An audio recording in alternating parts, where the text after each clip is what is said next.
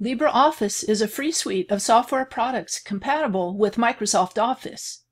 Versions are available for Windows, Mac, Linux, and the Raspberry Pi. In this course, I'll focus on the word processing component of the suite, LibreWriter. As a web developer, computer trainer, and author, Writer is a program that I use on a daily basis. It's easy to use, reliable, and did I mention it's free?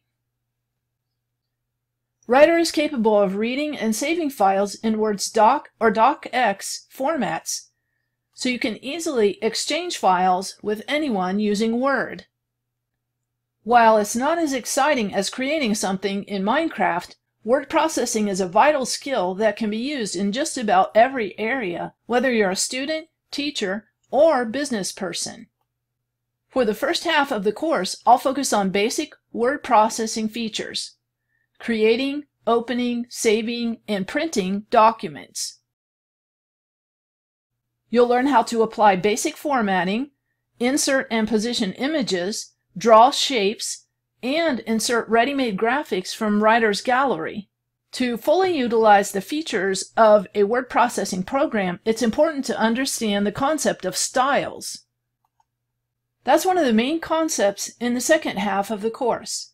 Many people find styles confusing and intimidating at first, but once you understand how they work, you'll find that styles are a powerful and time-saving feature.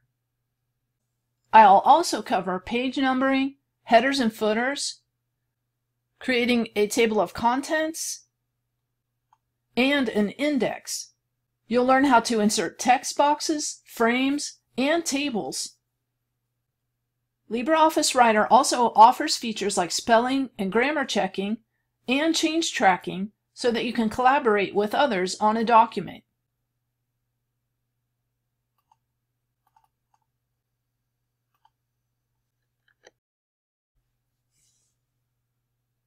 The course closes with a look at options for customizing the Writer interface and a preview of experimental features like this notebook bar menu.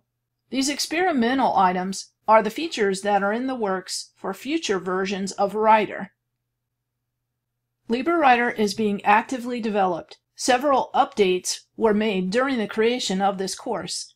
That gave me the opportunity to explain how to download and install those updates. As with most open source programs, the look and feel of LibreWriter doesn't change much with each update. If a substantial change is made in the software, I'll add videos to the course to cover those additions.